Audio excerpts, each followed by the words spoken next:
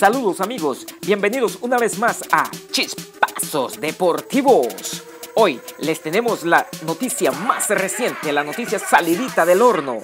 Respecto al partido Honduras versus El Salvador, tenemos las palabras de Noel Valladares, el capitán de la selección hondureña, quien levantó la Copa Delta en el estadio Robert F. Kennedy después de vencer a El Salvador por 2 a 0. Estas fueron las palabras del capitán Catracho.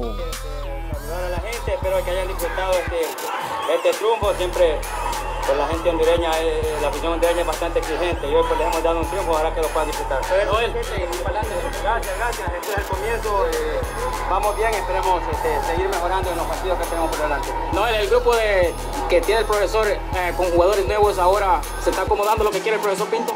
Sí, eh, vamos de a poco. Recuerden que este es un proceso, no termina aquí, esto recién comienza.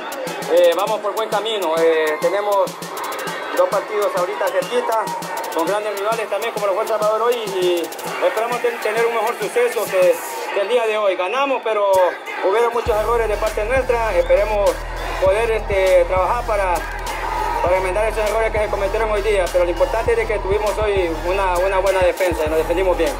Muchísimas gracias, Noel. Palabras de Noel Valladares. Eso fue lo que nos dijo el capitán de los Catrachos, Noel Valladares. Desde el estadio Robert F. Kennedy, recuerde, no se pierda chispazos deportivos a través de hondurradio.com.